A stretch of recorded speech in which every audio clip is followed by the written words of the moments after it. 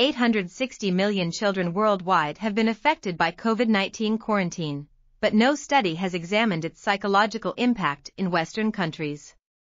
The present study examines the emotional impact of the quarantine on Italian and Spanish children and adolescents, finding that 85.7% of parents perceived changes in their children's emotional state and behaviors during the quarantine.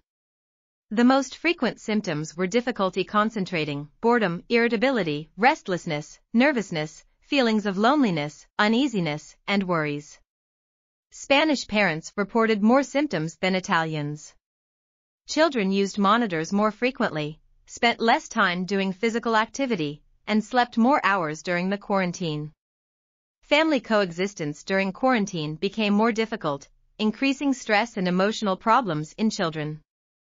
The study reinforces the need to detect children with psychological problems early to improve their well-being. This article was authored by Mireia Orgilés, Alexandra Morales, Elisa Delvecchio, and others. We are RTCL.TV, links in the description below.